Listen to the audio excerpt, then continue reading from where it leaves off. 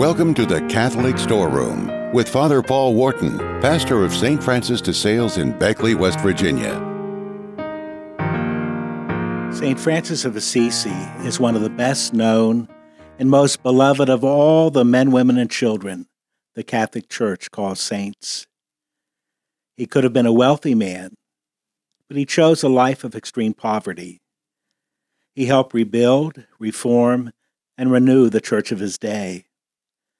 Even today, his words and life inspire a great number of people and lead some to become religious sisters or brothers or priests. Born in 1171, he died in 1226.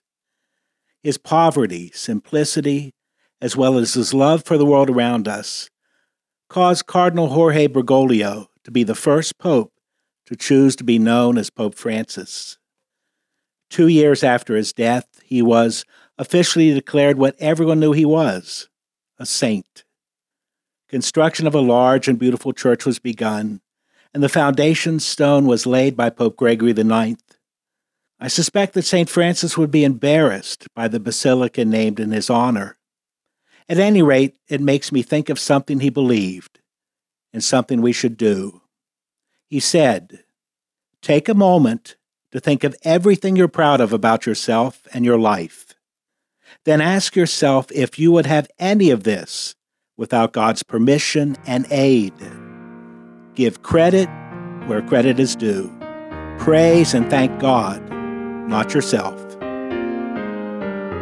The Catholic Storeroom 2,000 Years of Wisdom and Insights.